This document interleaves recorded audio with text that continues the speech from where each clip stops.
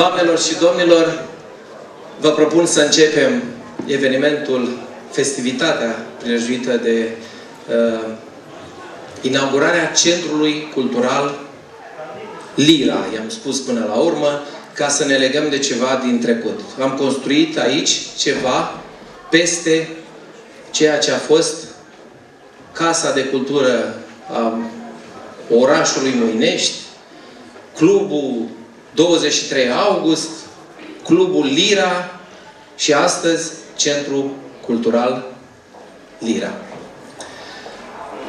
Vă spun bun venit tuturor! Vă mulțumesc că astăzi, la zi de sărbătoare și creștină și pentru municipiul Moinești, ați reușit să dați curs invitației noastre și împreună să împărtășim bucuria acestui eveniment. Cu scuzele de regoare, pentru că n-am să pot să vă mulțumesc personal, poate în partea a doua a evenimentului, să vă mulțumesc personal tuturor pentru prezență. Vreau să salut prezența aici. A, îndrăznesc să spun și motivat și cu argumente a celor mai importante personalități din uh, județul Bacău. Vreau să-l salut aici, în primul rând, pe domnul Dragoș Benea. Domnul Dragoș Benea, fostul președinte al Consiliului Județean, domnul președinte, așa cum îi spunem în continuare, fără să știrbim din uh, președinția domnului uh, Sorin Brașoveanu, actualul președinte al Consiliului Județean, căruia îi mulțumesc. Pentru că împreună am pornit și iată că am reușit să și finalizăm acest frumos proiect. Mi-amintesc cu oarește nostalgie acum de discuțiile pe care le-am avut chiar și în Consiliul Județean, încercând să le explicăm domnilor consilieri că un astfel de proiect este benefic nu numai pentru locuitorii municipiului Moinești, ci pentru întreg arealul de nord-vest a județului Bacău. Practic de la Ghimeș până la Onești și până spre Bacău, nu există un astfel de așezământ cultural, cel puțin așa cum ni-l dorim noi și sperăm că va fi. Că pe lângă ceea ce vedeți dumneavoastră aici, chestiuni uh, fizice, materiale, noi ne dorim aici o viață spirituală și culturală de înaltă clasă. Așa cum poate ați observat și în programul manifestărilor care uh, sunt, demarează acum, astăzi, aici, ele se întind pe parcursul celor patru zile până duminică seara și în fiecare zi avem evenimente foarte importante.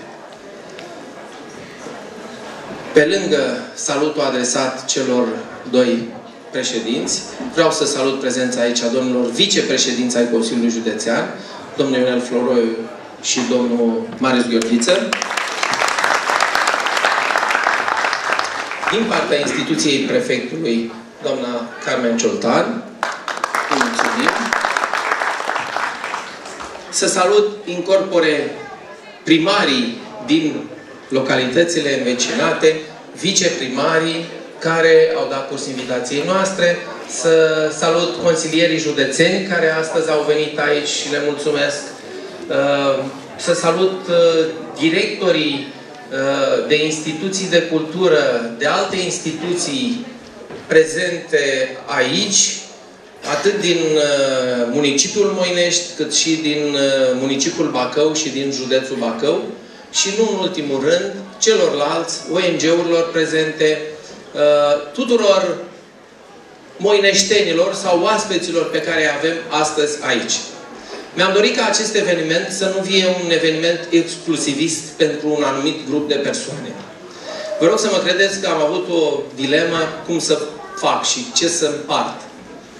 Chiar și aseară se întrebau, am auzit că se discuta că am împărțit primarul invitații.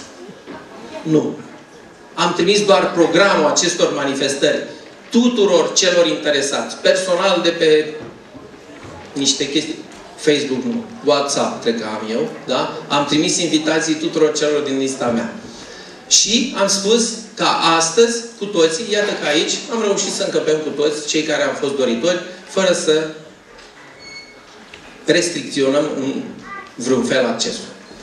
Eu vă mulțumesc tuturor pentru prezență, vă mulțumesc că uh, ne-ați sprijinit uh, în demersul nostru și închei uh, um, primul meu cuvânt, să spun, de astăzi, prin a saluta în sală și pe domnul deputat Constantin Avram, moineștean de nostru, care este alături de noi la toate manifestările, și să, așa cum se cuvine, într-o casă nouă, să dăm cuvântul preacuvioșilor părinți, cu, preacucernicilor părinți, părinți, da? Și uh, să facă cele creștinești și să ne binecuvinteze această, acest așezământ. Vă mulțumesc!